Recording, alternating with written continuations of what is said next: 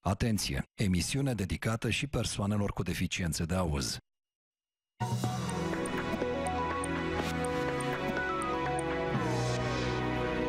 Victoria Ocară vă prezintă Telejurnalul. Bună seara și bine v-am găsit la Telejurnal. Iată principalele subiecte. La Spitalul Sfânta Treime din Chișinău va fi deschisă o nouă secție de terapie intensivă și reanimare, destinată inclusiv pacienților grav bolnavi de COVID. În ultimii ani, în Republica Moldova se nasc tot mai puțini copii, iar anul trecut s-a înregistrat o scădere istorică a natalității. Specialiștii spun că principala cauză este migrația. Ministerul Culturii și Educației a dat startul unei campanii dedicate învățământului dual. Tinerii pot învăța cum să combine studiile cu practica la locul de muncă. La Spitalul Sfânta Treime din Chișinău va fi deschisă o nouă secție de terapie intensivă și reanimare reanimare destinată inclusiv pacienților grav bolnavi de COVID.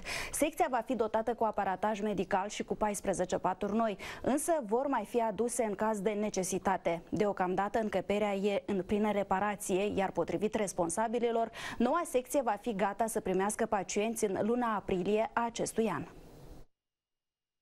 Noua secție este reamenajată complet. În spațiul ei vor intra încăpere ale spitalului, care până acum avea o altă destinație. Directorul instituției spune că reamenajarea zonei era de mult în planurile administrației, dar odată cu apariția noului coronavirus, care a provocat o adevărată criză de locuri în spitale, a fost necesară urgentarea lucrărilor. Spitalul dispunea până la intrarea în pandemie de 18 paturi terapie intensivă.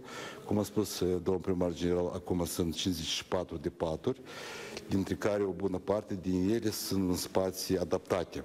Pentru reparația spațiului, autoritățile locale au alocat din bugetul municipiului Chișinău 6 milioane de lei. Ministerul Sănătății și partenerii externe au mai oferit 16 milioane de lei pentru achiziționarea aparatajului și utilarea noii secții de terapie intensivă. Vorbim aici despre 14 locuri care urmează să fie amenajate minimum în condiții ideale. Evident că în condiții atunci când vom avea nevoie, sperăm să nu fie așa, aceste capacități pot fi extinse. În prezent, la Spitalul Sfânta Treime se tratează în jur de 250 de bolnavi de COVID-19. Astăzi, în Republica Moldova au fost confirmate 1062 de cazuri noi de COVID-19 după ce au fost testate 3920 de persoane. Între cei infectați sunt 44 de angajați din sistemul medical. Aproape 300 de pacienți sunt în stare foarte gravă. În ultimele 24 de ore au murit 21 de oameni infectați cu COVID, iar numărul deceselor a ajuns acum la 3760. Ministerul Sănătății a anunțat că astăzi s-au vindecat de COVID peste 600 de persoane.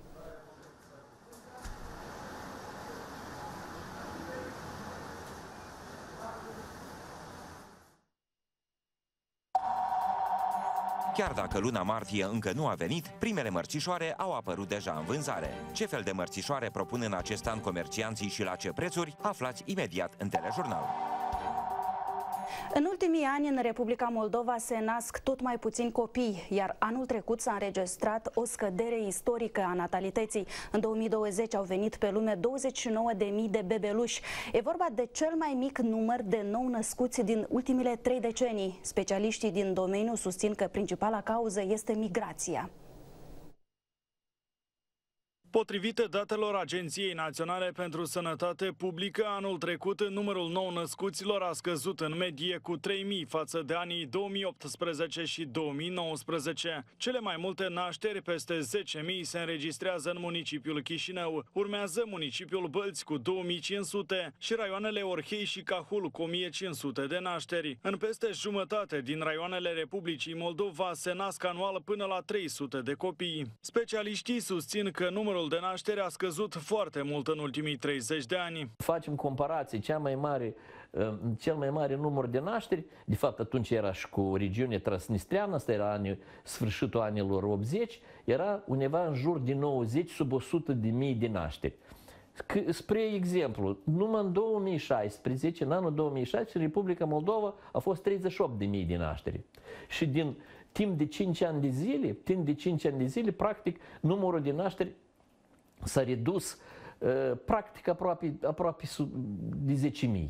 Profesorul Iurie Dondiuc susține că specialiștii din domeniu au anticipat această evoluție cu mulți ani în urmă. Acest lucru era um, prognozat și noi am prognozat că uh, până în anul 2035 noi pe Republica să avem în conformitate cu scenariul mediu, undeva 25 numai 25 de mii de nașteri. Potrivit demografilor, principala cauza a scăderii natalității este migrația masivă. Migrația este o problemă cu răsunet de lungă durată. Pentru că în prezent asistăm la etapa de integrare a familiilor tineri în noile locuri de destinație. Mai corect, în prezent, o bună parte din familii se stabilesc capii familiei și copiii acestora în noile state de destinație. Mă refer în special statele, statele europene.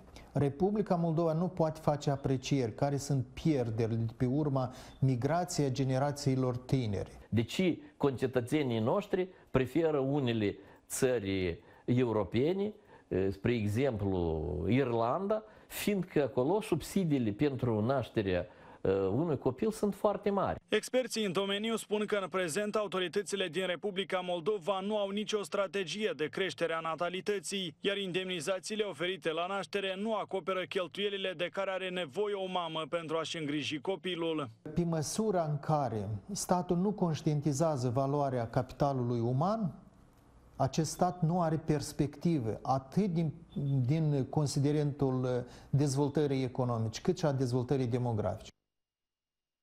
Continuăm telejurnalul cu noutăți de ultimă oră. Comisia Națională Extraordinară în Sănătate Publică a suspendat până pe 28 februarie limitarea numărului de pasageri în mijloacele de transport public până la 50% din capacitate. Comisia a anunțat că a luat această decizie după ce asociațiile patronale din domeniul transporturilor au dat asigurări că în mijloacele de transport vor fi respectate strict măsurile de prevenire a răspândirii infecției de COVID-19.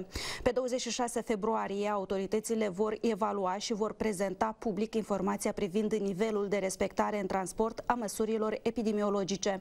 Transportatorii au protestat de mai multe ori față de restricțiile de limitare a numărului de pasageri.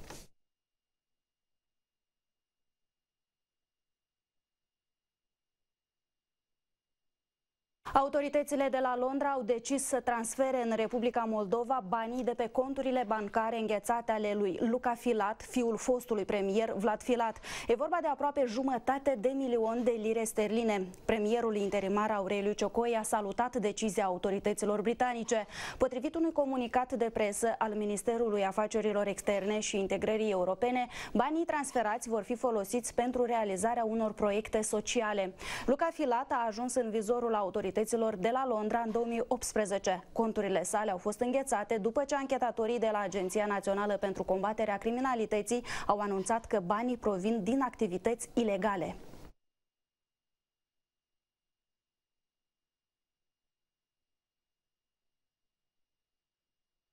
România și Uniunea Europeană vor continua să coopereze cu Republica Moldova, indiferent de evoluțiile politice de la Chișinău. Declarația a fost făcută de ambasadorul României în Republica Moldova, Daniel Ioniță, în emisiunea Punctul pe azi de la TVR Moldova. România și Uniunea Europeană sunt convins că vor continua să aibă relații de colaborare cu Republica Moldova, indiferent ce se va întâmpla în Republica Moldova. Însă, calitatea acestor relații depinde în mod esențial de cine anume susține anumite instituții. Pentru că, vedeți, uh, există vorba aceasta, să călcăm pe aceeași grebe. S-au călcat pe multe grebe în Republica Moldova și s-a ajuns acum în situația în care te uiți foarte atent la, uh, nu numai la vorbele foarte frumoase. Daniel Ioniță a declarat că România vrea o relație și mai strânsă cu autoritățile de la Chișinău. Ambasadorul a precizat că pentru asta conducerea Republicii Moldova trebuie să-și îndeplinească angajamentele asumate față de Uniunea Europeană. Dacă există există seriozitate, dacă există angajament, dacă sunt îndeplinite uh, obligațiile asumate, uh, realitățile de, și colaborarea dintre Republica Moldova și Uniunea Europeană, dintre Republica Moldova și statele europene, dintre Republica Moldova și România, pot să uh, meargă la niveluri superioare. Un eventual guvern votat de o majoritate parlamentară din, fac, din care face parte și unii de, din care fac parte și unii deputați asupra cărora planează serioase suspiciuni de corupție, unii ba chiar uh, implicați, uh, vizați în raportul Kroll atunci când vorbim de frauda bancară. Poate contribui la realizarea acestei reforme ambițioase? De ce această majoritate nu a realizat aceste reforme ambițioase până acum? Dacă cu adevărat dorea să realizeze diverse uh, reforme ambițioase. Adică nu suntem nici noi naivi, să știți. Daniel Ionița a tras atenția în mod repetat asupra problemelor legate de întârzierea reformelor din sectorul justiției și celor ce țin de lupta împotriva corupției. Dacă tragem linie, veți vedea că sunt mult mai multe avantaje uh, decât, uh, haide să spunem, provocări sau, sau aroganțe. Cetățenii trebuie să înțeleagă cine anume sunt acele forțe politice politice care au contribuit la anumite decizii care evident vor priva uh, Republica Moldova inclusiv de, de, de fonduri externe. Noul primar de Cernăuți promite că în perioada mandatului său școlile românești din oraș nu vor fi închise. Într-un interviu oferit în exclusivitate pentru TVR Moldova, Roman Cliciuc a spus că va susține proiectele de promovare a culturii și tradițiilor românești deopotrivă cu cele ale tuturor etniilor existente în nordul Bucovinei. A fost ales primar în toamna anului trecut, iar unul dintre obiectivele sale e dezvoltarea relațiilor de colaborare cu România și Republica Moldova. Departamentul financiar al orașului Cernăuți a solicitat anul trecut închiderea mai multor clase din cele patru școli românești din cauza numărului mic de elevi, însă noul primar promite că asta nu se va întâmpla.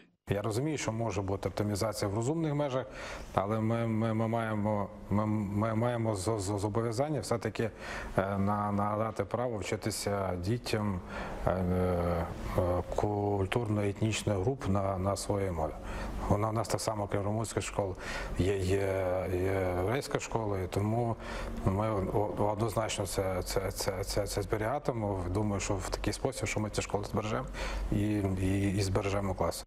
Primarul mai promite să susțină financiar proiectele culturale inițiate de etnicii români din Cernăuți. Roman Cliciuc crede că Bucovina este atractivă pentru turiști, inclusiv datorită îmbinării tradițiilor minorităților culturale. У нас багато таких проєктів було, як там Маланка Фест, наприклад, коли ми показували, е, ну, яка колись була Маланка в румунських селах, в українських, і це саме така от багатогранність якраз надавала можливості зробити цей фестиваль одним з найцікавішим у нашій країні.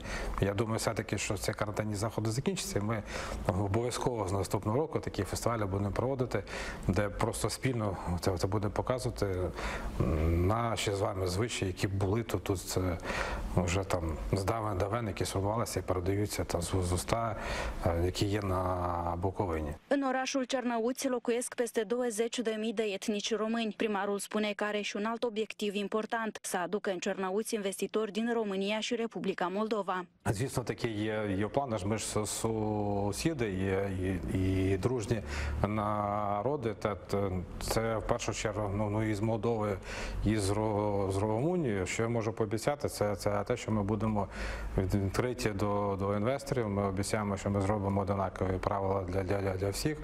Ми за, запрошуємо всіх у, у наше місто. Ми, ми, ми чекаємо. Ми, ми створимо усі умови. Я, я переконаний, що ці відношення у нас вийдуть на хороший якісний рівень.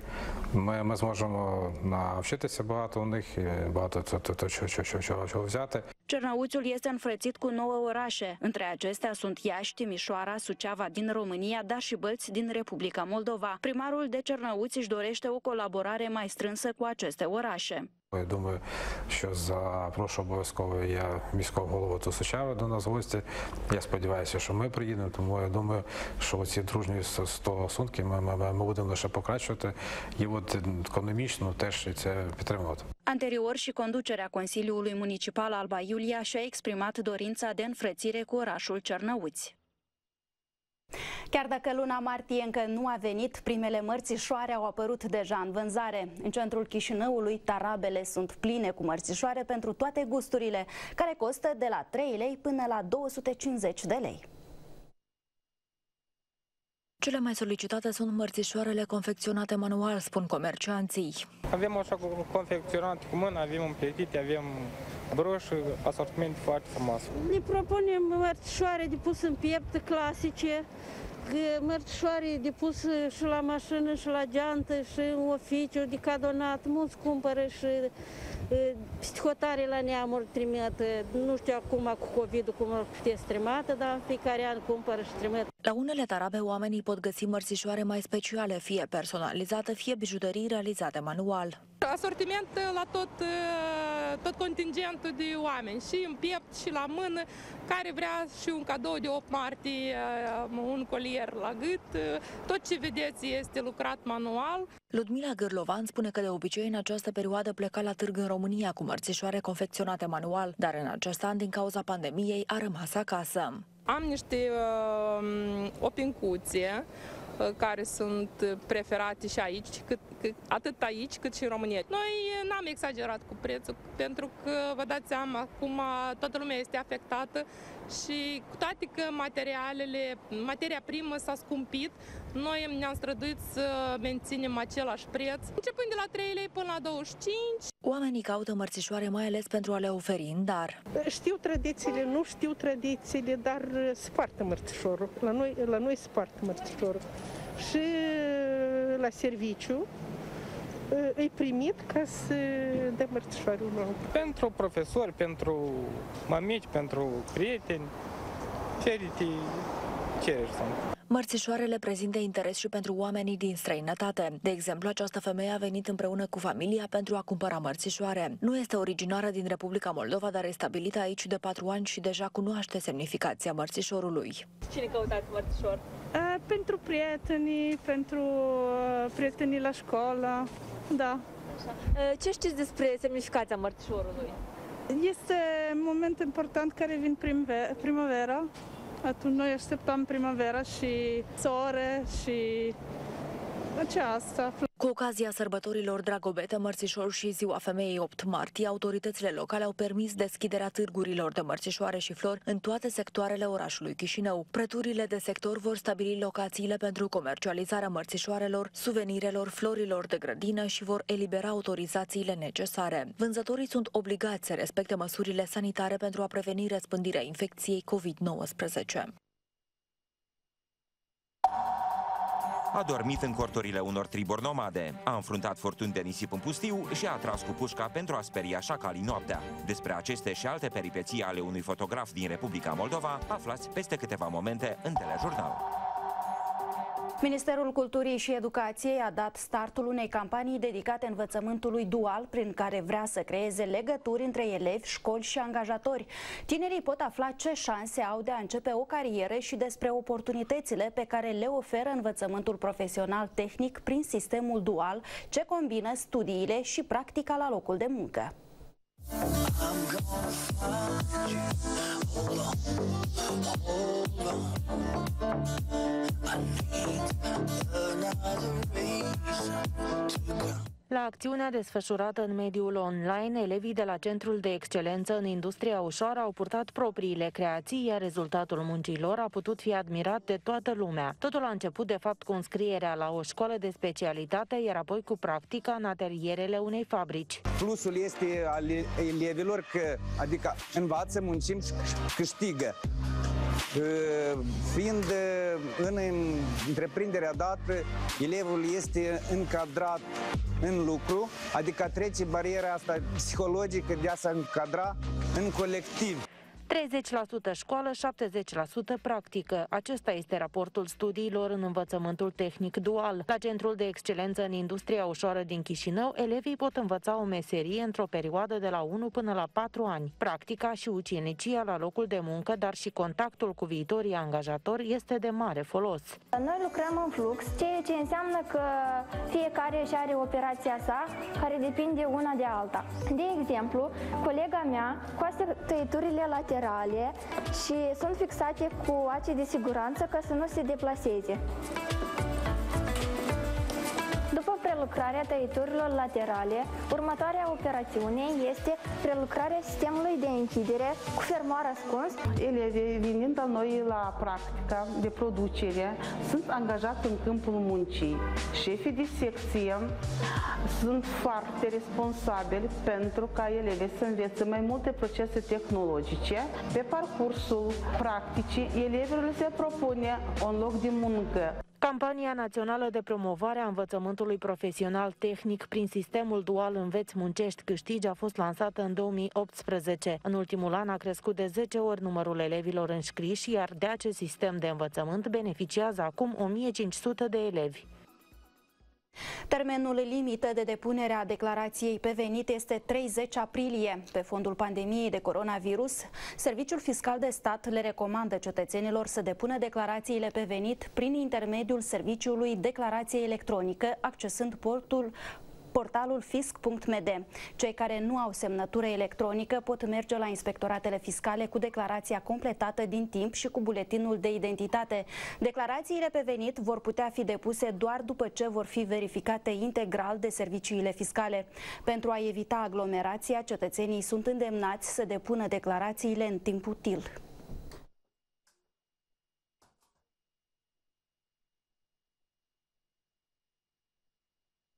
Liceul teoretic Bogdan Petricei cu hd din orașul Drochia are propriul post de radio. Se numește Tinerii HDN și este o oportunitate de comunicare pentru liceenii care se întrec în realizarea celor mai interesante și captivante emisiuni difuzate în pauzele dintre lecții. Lansarea postului de radio a fost posibilă datorită suportului financiar de 2000 de dolari oferit de Fundația Soros Moldova.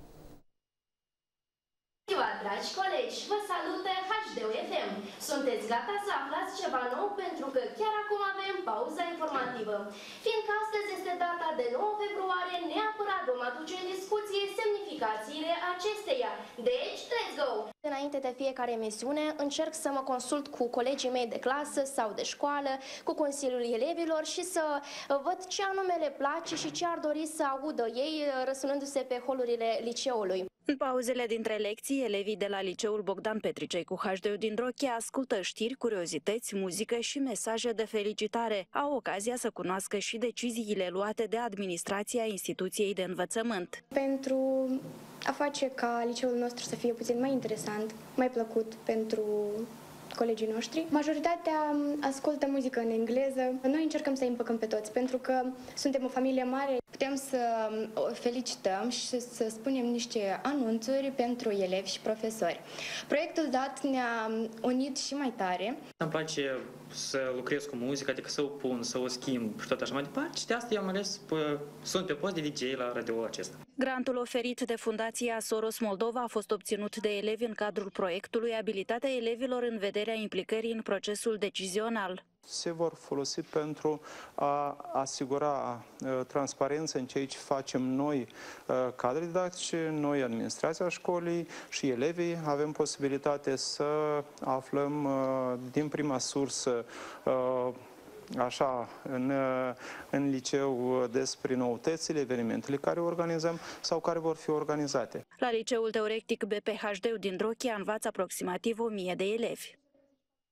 A dormit în corturile unor triburi nomade, a înfruntat furtuni de nisip în pustiu și a tras cu pușca pentru a speria șacalii noaptea. Sunt peripeții ale fotografului Aurel Cepoi, pe care le-a avut în ținuturile nepopulate ale Iranului. A străbătut mii de kilometri pentru a surprinde imagini dintr-o altă realitate, care acum pot fi văzute la o expoziție de la Muzeul Național de Artă de la Chișinău.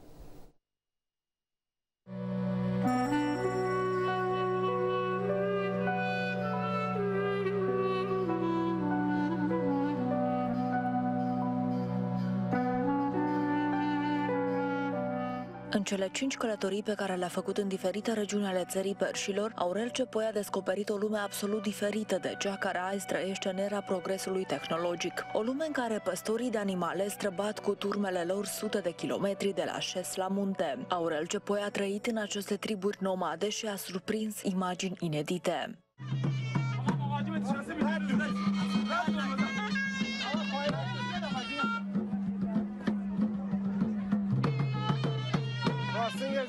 Mă interesează viața acestor uh, oameni marginalizați care, printr-un efort uh, imens, uh, reușesc să-și ducă cultura, istoria în spate și cât ori mai duce fiindcă ea se pierde, mai pierd pe drum, cu toate aceste schimbări care au loc vertiginos, iar pandemia, la sigur, o să aibă și ea aportul ei asupra acestui fenomen dispariție. Aurel Cepoi a străbătut un drum de peste 15.000 de kilometri într-o țară în care trăiesc în jur de un milion de nomazi. De două ori pe an, aceștia își încarcă toată averea în mașini sau pe măgari și pornesc împreună cu animalele lor spre noi pășuni. Au nevoie lor zilnice, oi care se pierd, animale, Uh, viața lor zi de zi începe dimineața și până seara și un non-stop, adică nu, nu te poți opri. Au copii mulți de care trebuie să ai grijă. Aurel Cepoi spune că nu i-a fost ușor să renunțe la confortul de acasă și să aleagă un trai la limita supraviețuirii.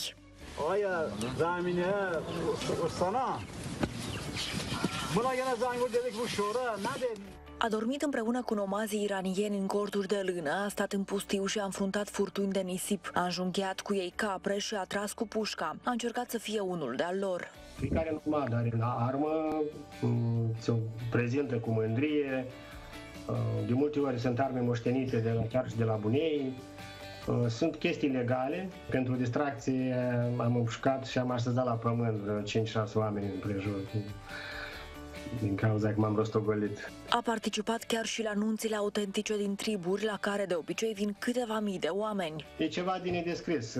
Se instalează foarte multe corturi, zeci de corturi mari, în care pe parcurs sau două, trei zile, sperind cam două, trei mii de oameni care vin să, să mănânce, să danseze, să-și întâlnească rudele, prietenii. Iar mirii vin în ultima zi anunții pentru câteva ore și doar pentru a-și lua cadourile. Fotograful Aurel Cepoi a surprins imagini care l-au impresionat în mod deosebit. La o nuntă un bărbat duce și copii și pușca, ceea ce e foarte uh, complicat să vezi la nomazia, o cultură bazată pe uh, strict pe ce face femeia, ce face bărbatul în familie și deci lucrurile se mai schimbă.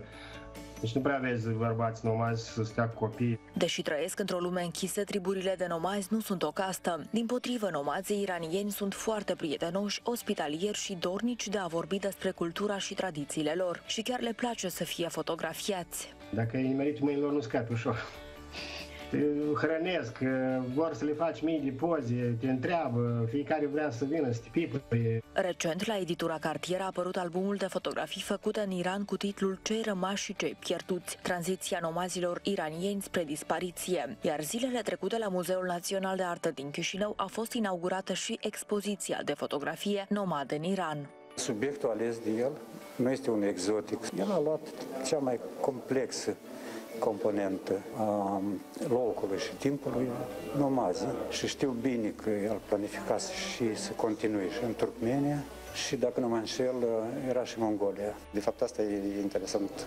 că cotidianul triburilor nomade, cum învață copiii, cu ce trăiesc. Adică el a fost marcat de sărăcie în care Uh, trăiesc pe de altă parte de libertatea și caracterul oamenilor. Din câte îmi spune el, sunt oameni foarte, foarte binevoitori și foarte deschiși. Expoziția va fi deschisă pentru public până pe 7 martie. Vizitatorii vor putea cumpăra fotografii, iar banii strânși vor ajunge la centrul Tony Hawks din Chișinău pentru reabilitarea copiilor cu dizabilități. Muzeul Național de Etnografie și Istorie Naturală din Chișinău are în colecție podoabe, unelte și ceramică vechi de mii de ani, găsite în satul Cărbuna din raionul Ialoveni. Sunt peste 800 de piese, dintre care peste 400 sunt din aramă. Toate obiectele fac parte din tezaurul de la Cărbuna și sunt printre cele mai importante piese arheologice expuse în muzeu.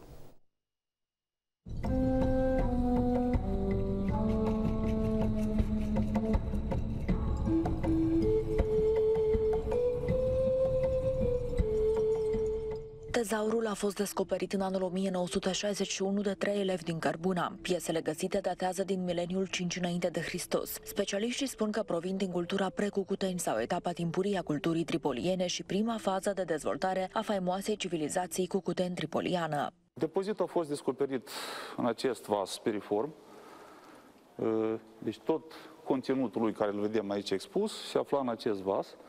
Uh, pe post de capac era utilizat acest vas mic bitronconic. Deci, evident că vasul a fost găsit în formă, să zic eu, spartă. Aici îl vedem deja restaurat. Tezaurul este unicat în tot arealul de răspândire a culturii precucuteni. Depozitul conține circa 400 de piese de aramă. Este vorba de idoli stilizați antropomorf. Un exemplar din el are chiar și un, un decor solar. Este vorba de acest uh, pandantiv. Uh, brățări, spirale, spirale ce din aramă. Piesele de aramă nu au fost realizate prin turnare, ci printr-o tehnică de sudare, ceea ce arată măiestria oamenilor din acele timpuri. Piesa aceasta, deci de a treia, zic din primul rând, a fost sudată. Dacă vă puteți imagina ce cunoștințe tehnologice aveau deci, comunitățile neolitice de atunci, dacă au însușit și tehnica sudării la cald. În anul 1962, arheologii au descoperit și obiecte din ceramică în același loc în care a fost găsit tezaurul de la Cărbuna. Aici în vitrină avem expuse o parte din uh, descoperirile ceramice. Putem observa deci linguri de lut, uh, vase bitronconice, fragmente de statuete antropomorfe cu decor incizat, care probabil că reprezentau unele zeități venerate de către locuitorii acestei așezări. A fost nevoie de multe lucrări de restaurare pentru ca toate obiectele să poată fi expuse. Tezaurul de la Cărbuna face parte din patrimoniul cultural mondial ca cel mai vechi așezământ tripolian din sud-estul Europei.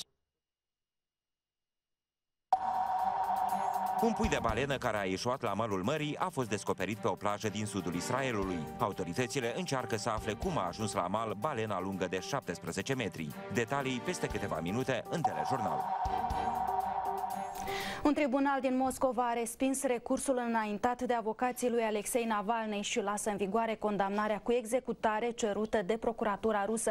Totuși, instanța i-a redus pedeapsa cu o lună și jumătate, ceea ce înseamnă că opozantul Kremlinului va sta închis într-un lagăr de muncă forțată timp de 2 ani și jumătate.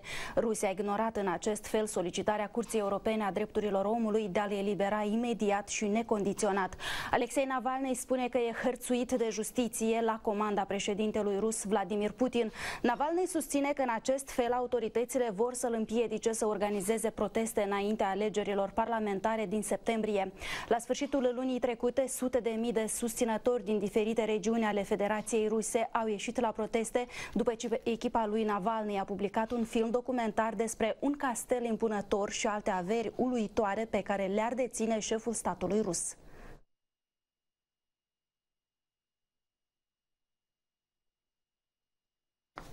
Vaccinarea rămâne principala armă împotriva pandemiei, iar laboratoarele din toată lumea dezvoltă seruri. Rusia a aprobat astăzi al treilea vaccin anticovid și primul din lume care folosește coronavirus inactiv. Urmează acum să intre în ultima fază a testelor clinice. Și chinezii fac vaccinuri pe bandă rulantă, încă șase sunt acum în ultima fază de testare clinică.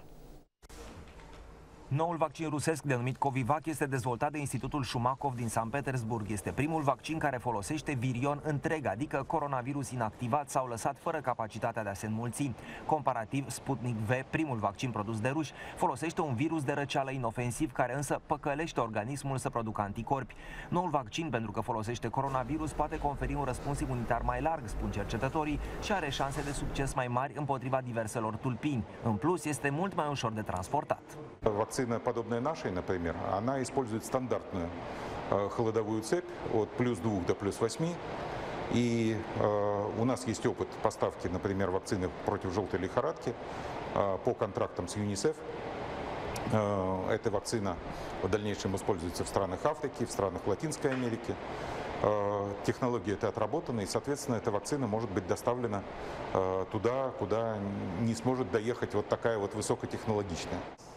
Institutul Shumakov, fondat în 1955, s-a remarcat prin realizarea vaccinului antipolio în urma unei colaborări cu cercetătorul american Albert Sabin. Noul vaccin anticovid urmează să fie testat clinic și ar putea să fie utilizat chiar de luna viitoare.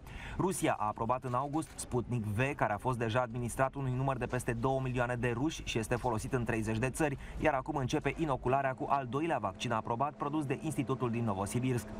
Și China produce vaccinuri anti-Covid într-un ritm alert. 16 seruri noi au intrat în teste clinice, 6 dintre acestea fiind în ultima fază, au anunțat oficialii. În plus, au mai primit aprobare de urgență pentru a fi testate clinic 22 de medicamente pentru tratarea și prevenirea COVID-19.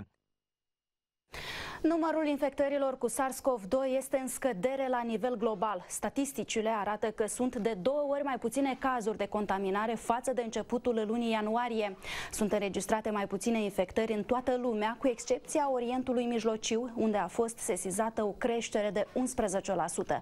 Dar sunt zone ale globului, ca Oceania, unde experții spun că virusul practic nu mai circulă. O scădere semnificativă a fost semnalată și în Statele Unite, unde se înregistrează cel mai mare număr de contaminări contaminări. Experții Organizației Mondiale a Sănătății spun că atât vaccinarea cât și restricțiile sanitare încep să dea rezultate.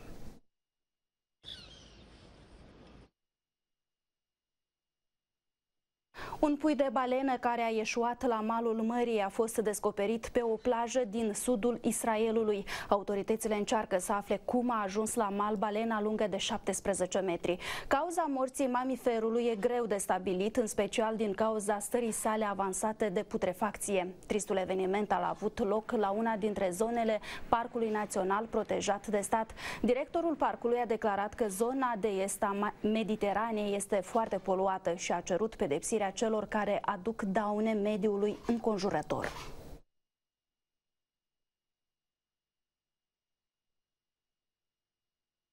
Cum va fi vremea, aflăm din rubrica Meteo.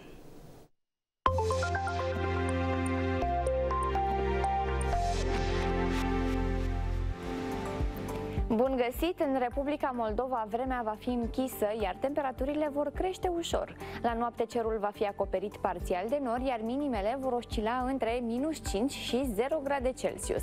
Mâine se va menține atmosfera închisă, iar mercurul din termometre va indica valori maxime de până la 7 grade Celsius. La Chișinău, în această noapte, minima va fi de minus 1 grad, iar maxima de mâine va indica 6 grade în condițiile unui cer noros. Și în România vremea se va încălzi zi, valorile termice maxime vor fi cuprinse între 6 și 12 grade Celsius, iar cerul va fi variabil spre senin. Acestea au fost informațiile despre vreme. Sunt Iulia Iancu, vă mulțumesc pentru atenție și vă doresc o seară minunată!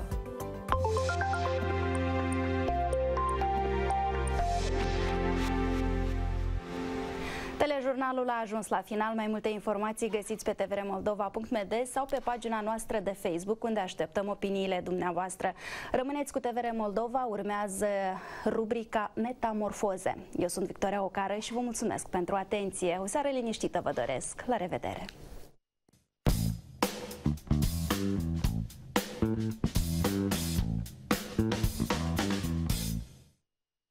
Mă bat cu lupii pentru tine, Ghenia. M-a înconjurat o haită numeroasă, erau vreo 8-9. M-au încercuit rânjându-și colții. Eram gata să trag când mi-am amintit cum îi jelește pe ei ghenea și le-am zis. Calm le-am zis. Măi, lăsați-mă să mă duc la ghenea mea, la iubita mea și ei s-au oprit din hărâit. Mă numesc Valentin Zorilă. Sunt actor la Teatrul Național Mihai Eminescu din Chișinău.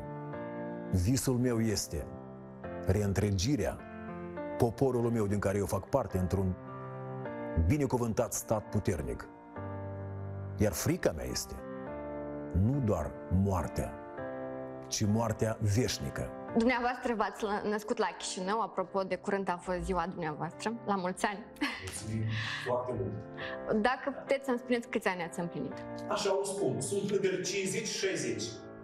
Fix, fix.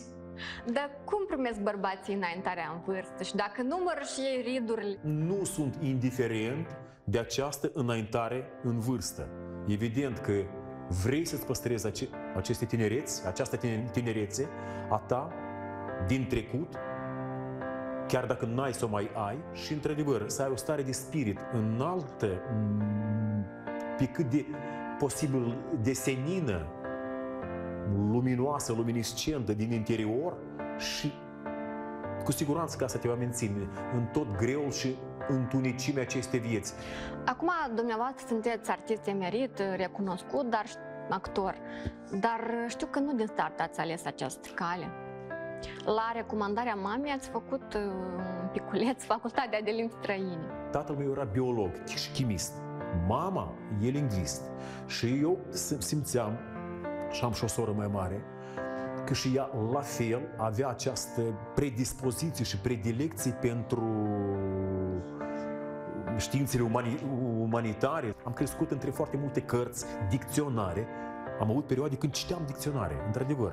Atât de mult îmi place cuvântul în toate limbile pe care sunt, pe care le percep și le știi. Dar e o chestie Asta curioasă că dumneavoastră atunci, în 87, uh, ați făcut o gazetă de perete și ați scris în loc de limba moldovenească, limba română. Uite ce v-a făcut să faceți lucrul ăsta? Auleu, extraordinar, da. Era o perioadă foarte dură și grea. Uh, Eu fiind exponentul acelei perioade sovietice, dar oricum aveam această conștiință că aveam această mm, etnogeneză românească aici, în Basarabia. Ne-am încumetat să facem acest uh, gest, a- această uh, gazetă de perete și, și l-am desenat pe Alexei Matievici, așa cum îl cunoaștem noi, în strale lui de preot, bustul lui îngrădit în, după gratei, cum ar fi să fie, și gratele la un moment dat lăcrimează și se transformă în sânge. Și era scris, paremise, înviați-vă doar graiul. Totuși era și un fel de nedeterminare personală, făcusem trei ani deja. Da. Ca până la urmă, într-adevăr, am abandonat și noi toți trei am plecat. Eram trei băieți, da. Apropo, am eu acum, sunt în America. Am văzut un anunț în literatura și arta, un anunț de admitere la școala de teatru și film a lui Emil Loteanu, aici în Chișinău. Și pare mi se am văzut, nu știu, ori chiar pe un stâlp gard, ori tot în ziar, literatura și arta sau ce era, un anunț la, școala, la școala m, superioară de teatru Șciuchin, pe lângă teatru Vahtangov de la Moscova. Dar înainte de a merge acolo, știu că ați fost fochist. Extraordinar! De este unde? adevărat! Și într-adevăr, eu așa și spun, am vagabondat un an de zile. Așa, mai între ghilimele, ghilimele iarăși o spun, uh, într-adevăr, m-am aranjat, era o chestiune, într-adevăr, bun, financiară sau nu, dar vroiam să-mi deschid o cărticică de muncă. Era școală serală, o școală nu, mă, unde se învăța după amiază seara și cu foarte mulți, adică copiii care, ma, majoritatea care erau copii acolo erau, erau de, într-un mediu așa mai, mai dificil, mai dificil copii din ăștia, mai banditoși băieții, fetițele cam tot nu prea serioase la, la ale lor și eu veneam și m, puneam cărbune. Da, era o școală, un local, un edificiu foarte vechi. Evident că conștientizam acest fapt că era o perioada de tranziție. O etapă din viața exact, da. dumneavoastră. Ca să te reorientezi Și v-ați Și mai orientat, departe. pentru că ați plecat la Șciuchin până la urmă, la școala de Da. teatru de la Moscova. Vreau să-mi spuneți cum v-au primit acolo. De ce spuneam că amintirile sunt atât de frumoase? Pentru că uh, am nimerit într-un mediu elevat, înalt, de cultură înaltă și care ne-au și perceput așa cum suntem noi. Aproape că ne purtau în brațe sau pe brațe. A fost o foarte benefică perioadă pentru mine, pentru noi toți, colegii, colegii mei. Noi astăzi suntem câțiva aici în teatru. După ce am plecat în, în Italia, a fost o a- a- altă aventură Eu n-am să uit filmele alea latino-americane, dumneavoastră ați- le-ați sonorizat.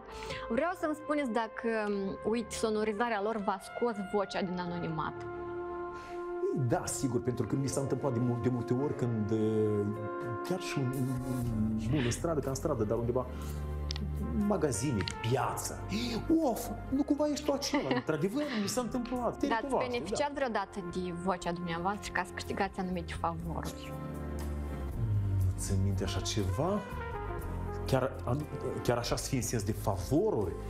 Uh, Dar dacă iar uh, revenim la piață sau nu știu ce, Da, s-a întâmplat. Nața asta ție pe deasupra la ceea ce a luat tu. Ce țin de partea asta sentimentală, dacă vocea v-a ajutat să cuceriți femeile? mi s-a mai spus în sensul ăsta, ia te măi și, și, și, bun, eu când, eu bas bariton. Da, da, da. Și josurile astea, probabil, vocea aceasta mai joasă, sigur, ar fi să fie mai așa, mai enigmatic. Aveți niște idoli în domeniul sonorizării, uite, persoane care vă inspiră, uite, le ascultați și încercați, uite, să împrumutați de la ele ceva.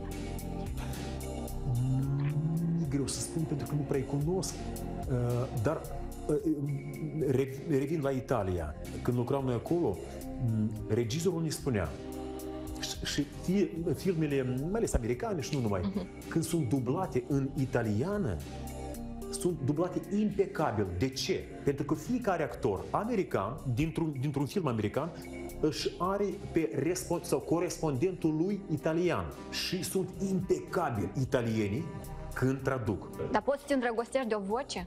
Așa să te îndrăgostești da. de voce? Eu cred că da. Și într-adevăr, voce sigur că mult înseamnă. Bărbat, femeie, da, e, evident că da. Și e bine să se lucreze la asta. Indiferent că ești sau nu uh, uh, uh, printre artiști. Da, dumneavoastră de obicei citiți ceea ce vi se scrie. Dar ce ați scrie dumneavoastră ca să sonorizați și să rămână, uite, în amintirea oamenilor din toată lumea? Aoleu, asta chiar e, e, e foarte interesant. Pentru că nu totul ce citesc eu și dublez, expun, mă aranjează și îmi place. Ar fi banal mesajul, dar oricum, oricum este foarte real și obligatoriu să fim mai buni, da, da, da, mai înțelegători. Nu zadar se spune, iubiți-vă. Dumneavoastră ați jucat în foarte multe spectacole, aveți foarte multe roluri, dar ce rol încă mai așteptați? Ce mi-aș dori? Ceva, de, nu, nu, nu zic mon, asta monumental, dar care să aibă un impact și față de mine și față de public. Să fie la fi și pozitiv, dar la fi și negativ, în sensul bun al cuvântului. Vedem cum nu trebuie să fim. Profesia de actor e un dar sau e o povară? Mm, foarte interesant. Da, cu siguranță că ar fi să fie un dar. Mă gândesc totuși, nu că eu sunt atât de dăruit și dotat. Iar zic, îmi cunosc neajunsurile, da. Dar undeva simți și, și simt că ar fi să fie m- al tău sau nu al tău. Sigur că e un dar și e o povară. În această pandemie, oamenilor de artă li s-a spus că ar fi bine să se reprofileze. Cum vedeți dumneavoastră această reprofilare? Și... Deci, e posibil oare un actor, un eu la artist de la să se... Am auzit că nu prea e posibil, pentru că într-adevăr asta pot, zic ei. Apropo, Eugen Ionescu, marele dramaturg, așa și spunea că eu în viața mea n-am putut să fac nimic în afară de a scrie.